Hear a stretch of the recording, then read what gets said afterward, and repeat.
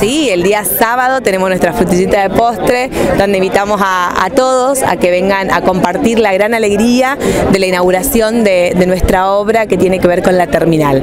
Eh, una obra magnífica de hace muchos años, sueños hechos realidad, que se pueden sentir, palpar y que marcan un antes y un después dentro de nuestra ciudad.